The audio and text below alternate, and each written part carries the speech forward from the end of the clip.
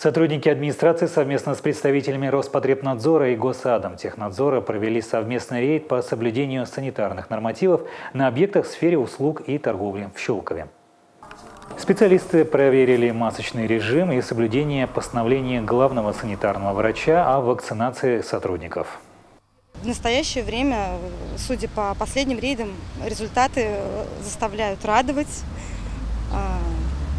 Сотрудники привиты, имеют сертификаты и предоставляют ну, как бы, информацию о том, что постановление выполняется.